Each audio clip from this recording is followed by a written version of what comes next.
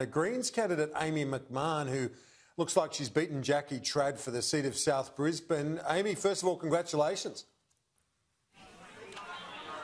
Uh, thank you for having me. What's the, what's the issue or the issues that resonated for you on the campaign trail? Was it simply that Jackie Trad had been through such a controversial time, a former deputy premier? Did that help you a lot? Oh, look, I think tonight's result is a reflection of the frustration that Queenslanders have with both the major parties and our political system in general. Uh, we've been out door knocking for the last six months, and one of the most common bits of feedback we've gotten is that people are fed up with the Labor and the Liberal Party taking big corporate donations. They're fed up with cash for access meetings. They're fed up with secret royalties deals, and they're fed up with a political establishment that continues to put mining billionaires ahead of everyday Queenslanders. And what we've come and offered people in South Brisbane and right across Queensland is a vision for Queensland where everyday people are put first. And we have our hospitals and schools that are fully funded. We have jobs in construction and manufacturing. We have construction of public homes right across the state. Uh, and that's what's gotten the result here in South Brisbane tonight. And that's what's gotten the big swings that we've seen right across the city tonight given the big swings to the, the Greens in the, in the southeast and uh, in your seat, do you think? Well, I mean, do you concede there's a disconnect between the southeast and central and north Queensland, where there is still strong support for coal and that industry? Yeah, look, one of the things we know is that the majority of Queenslanders want big corporations to pay their fair share. And we know that the majority of Queenslanders think that big companies have too much power.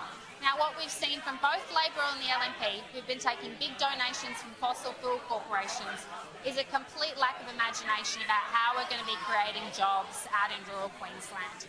We've got 20% child poverty in Queensland. We've got massive youth unemployment out in the regions. And obviously, what Labor and the LNP are offering to people out in the regions just isn't cutting it. We've got a plan for jobs, building new manufacturing hubs, building solar panels and wind turbines and batteries. We've got a plan for jobs, building houses and crucial right. public infrastructure right across the state. And once we get the opportunity to go and talk to Queenslanders, we know that these messages are resonating with them. Amy, congratulations. It's Alan Jones here. Could you give a commitment to viewers as to what your position is in relation to the Extinction Rebellion people who completely dislocated business in the city, held up traffic, ambulances couldn't get to hospitals, pregnant women couldn't get to deliver, have the baby delivered, and you seem to be an unapologetic supporter of these people. Will you disavow that support or confirm it? Look, I think we can, have, you know, have a reasonable discussion about particular tactics. But what we see when we see dis civil disobedience and protest is a reflection of people who no longer feel that the political establishment is listening to them. People no longer feel that Labor and the LNP are listening to them when they're saying we need action on so what do you do? Lie down in the street. we need action on you, housing. So, so, what, so, Amy, what do you do as a responsible elected representative of the people? Do you encourage these people to lie down in the street at 8:30 in the morning and completely dislocate business in the city? Is that a responsible position for an elected representative of the people to take?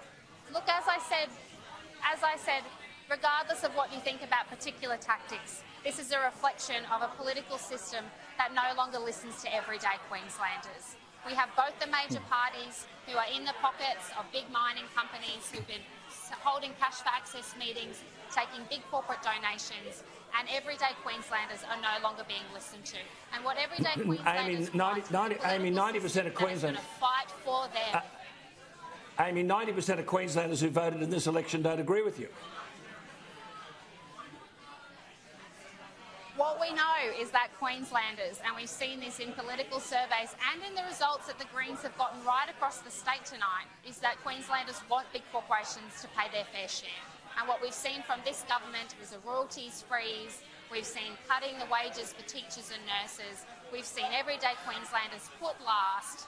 Uh, instead, mining billionaires have been put first. And the Greens in Parliament, with representatives who don't take any corporate donations, are going to be fighting for everyday Queenslanders here in South Brisbane and right across Queensland to make sure we've got jobs, to make sure our healthcare and education is fully funded, to make sure we have houses right across Queensland, to make sure we've got Okay. things like 100% publicly owned energy, Good. which would create something like 20,000 jobs. This is such an exciting opportunity, and the results tonight show lose on the other side. that mm-hmm. Queenslanders want this as well. Well, I, well uh, Amy, Amy Amy, you make me hope. You make me hope that Annastacia Palaszczuk wins 60 seats, so that she doesn't have to bargain with you over some of that nonsense. I'm sorry, the bulk of the people out there are saying turn her off. But congratulations, the public have decided. Yep. Congratulations, Amy MacMahon. Thank you for giving us your time. I appreciate it. Now,